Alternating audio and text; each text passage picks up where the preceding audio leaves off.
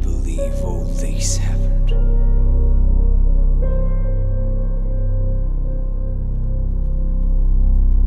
And I can't believe it's all your fault.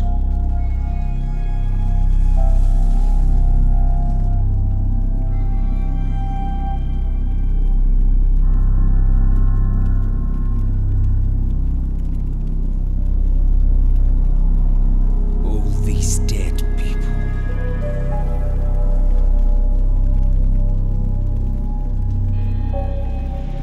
What the hell were we carrying?